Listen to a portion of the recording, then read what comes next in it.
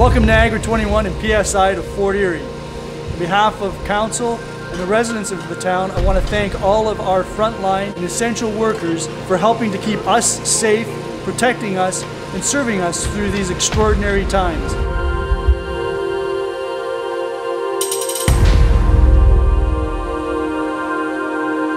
We can best show our appreciation to you by making sure that we follow all the rules to keep you safe.